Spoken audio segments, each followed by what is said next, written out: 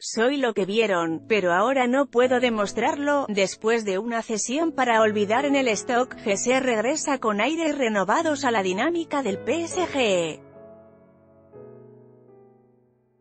Lo hace tratando de olvidar los malos momentos por la enfermedad de su hijo y con un objetivo, volver a ser el que era. En marzo de 2014, la carrera de Jesse Rodríguez sufrió un vuelco del que aún no se ha recuperado.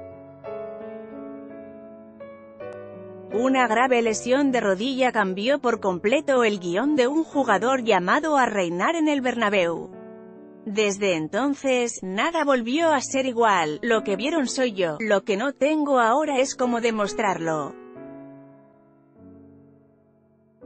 Por eso me he estado entrenando y preparando, así llevo meses para tener la oportunidad de volver a ser el mismo, o mejor, sé que puedo serlo, aseguró Jesse en las páginas de Marca.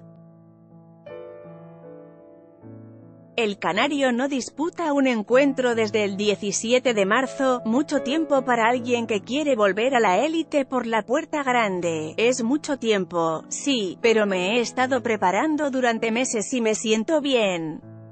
Ahora con la pretemporada uno gana un punto más de momento. En el PSG cuentan con él para la pretemporada.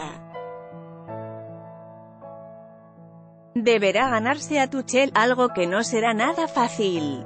Tengo tres años más en el PSG y voy a luchar con todo, estoy muy ilusionado, vamos a ver qué pasa, recordó Jesse.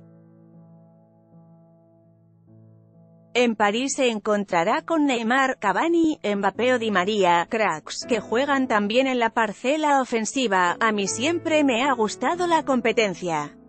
Imagínate si había cuando subí al primer equipo del Madrid, Benzema, Cristiano, Bale, Di María, Morata, Isco, y jugaba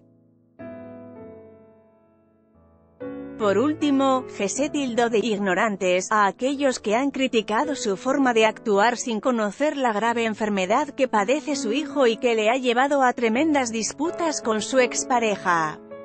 Ese es su show, su espectáculo, la verdad caerá por su propio peso, tiempo al tiempo, sentenció.